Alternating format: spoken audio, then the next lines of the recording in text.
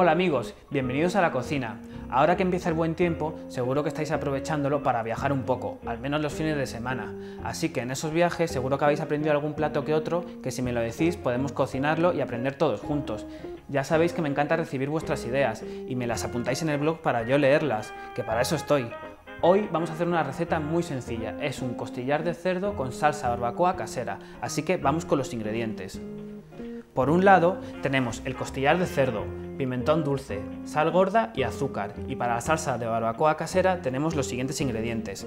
Mantequilla, azúcar, miel, un vaso de cerveza, un vaso de vinagre de Módena, aceite de oliva, tabasco, guindilla, orégano, un poco más de pimentón dulce y pimienta blanca y, como no, nuestra salsa de tomate frito Helios. Bueno, vamos a empezar con la receta. Primero me voy a lavar las manos. Un paso que he adelantado ha sido el siguiente. Con las costillas de cerdo las he adobado con el pimentón dulce, la sal gorda y el azúcar. Todo mezclado durante una noche en la nevera. Luego las sacamos, las lavamos y este sería el aspecto. Ahora lo que vamos a hacer son hornearlas. Enciendo el horno aproximadamente durante, a 160 grados y las hornearemos como una hora.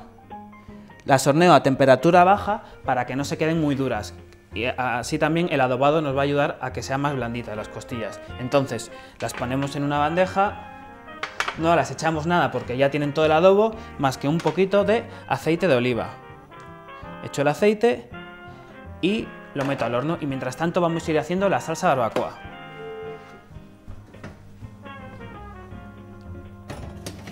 Vamos a ir haciendo la salsa barbacoa, que para ello necesitamos una cazuela mediana a la cual la vamos a, subir a temperatura de 5 más o menos. Y le añado lo primero el azúcar, aproximadamente 3 cucharadas. Esto hay que esperar unos 3-4 minutos para que se nos haga caramelo, un caramelo rubio. Así que echo el azúcar y espero. Esto ya lo tenemos, el caramelo se ha hecho aproximadamente en 3 minutos y ahora ya le podemos meter una cuchara para removerlo y que no se nos queme. Rápidamente le metemos mantequilla a la cazuela.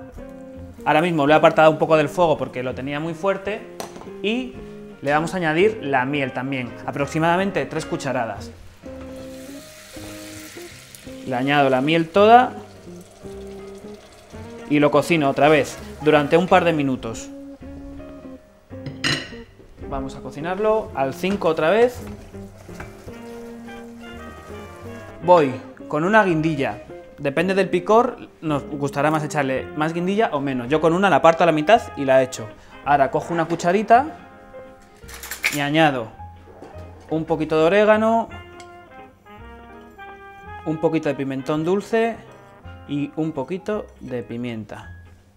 Parto esto y ahora echo el vinagre de Módena, aproximadamente un vaso, que lo tenemos que cocinar también durante dos o tres minutos para que se vaya el olor fuerte a vinagre. Lo vuelvo a poner al fuego y lo cocino durante 3-4 minutos.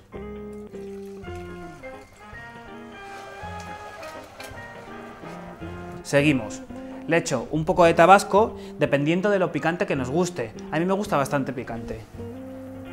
Le echo unas gotas de tabasco y ahora la cerveza. Y el mismo paso que hemos hecho con el vinagre. Hay que esperar a que reduzca todo el alcohol. Así que aproximadamente le echo un vaso de cerveza y espero a que reduzca 5 o 6 minutos.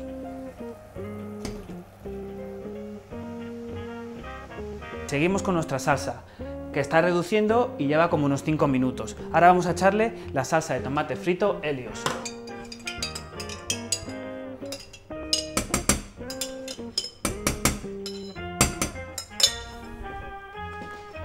Solo nos queda esperar. Habrá que esperar unos 15 minutos para que todos los ingredientes se vayan uniendo y que coja cuerpo la salsa.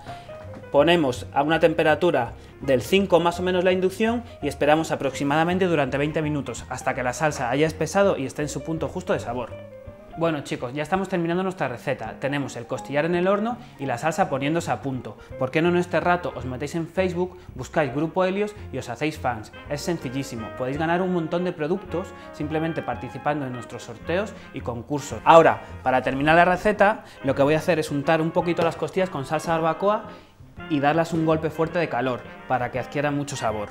Saco las costillas, que fijaos qué pinta tienen ya, después de haber estado una hora en el horno y lo que voy a hacer es con una cuchara echarle salsa encima. Y esta salsa luego la gratinaremos. Le echo bien de salsa en todas las costillas para que se caramelicen un poquito las costillas con nuestra salsa. Así que ahora para adentro, al horno. Subo el horno a unos 200 grados y espero 3-4 minutos para que coja un, color dorado. Voy a sacar simplemente de muestra una costilla. Fijaos qué pinta. Cuidado que quema, ¿eh? Echo ahí las costillas.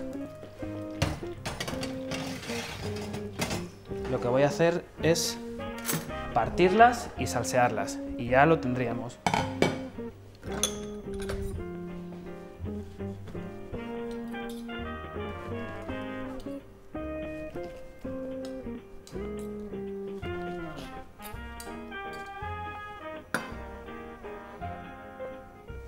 Fijaos qué pinta tienen nuestras costillas.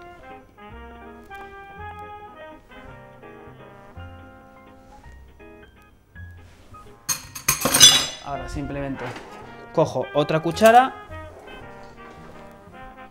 y ya salseamos para terminar nuestras costillas.